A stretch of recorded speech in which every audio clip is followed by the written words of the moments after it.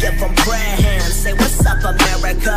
Half of you should know me, right? Other half a replica. Shout out to my, my, oh, shout out to that one dude. Oh, wait, fuck that. Ain't nobody held my ass out on this jump through.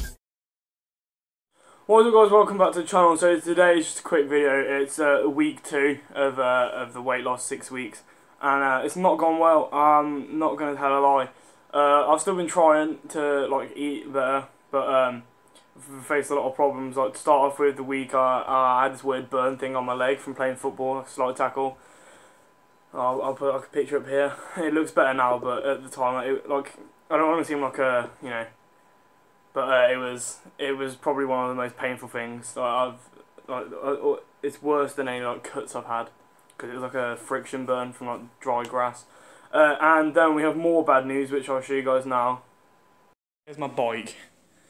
Uh, basically, I took it to a man, uh, and pretty much it's it's broken. He said that the chain uh, is near snapping. All the teeth on the on the gears, are, it hasn't changed from gear two for ages. Uh, I broke the seat as well. If you look under here, this is it. This one. One of them's like snapped out. I think it's that one.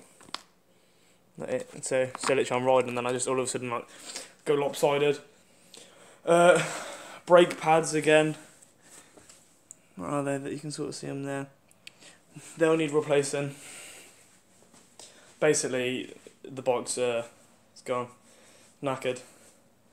Uh, and it's going to cost a lot of money to either fix or to buy a new bike. So, I can use it, but the the bloke just said that the chain is unreliable and it's going to snap.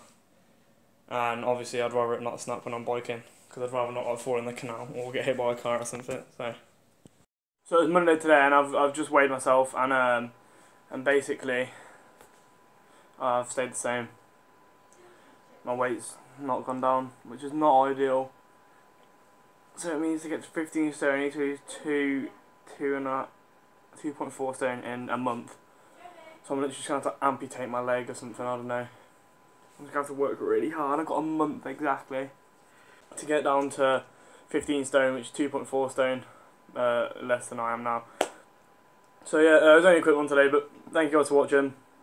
I've got uh, two videos coming out this week, and then I'll see you guys on Monday for part three, week three, uh, and hopefully there'll be something something more interesting and actual actual weight loss, which would be which would be good. But yeah, I'll see you guys in the next video. Drop a like and subscribe if you haven't already, and I'll see you guys soon.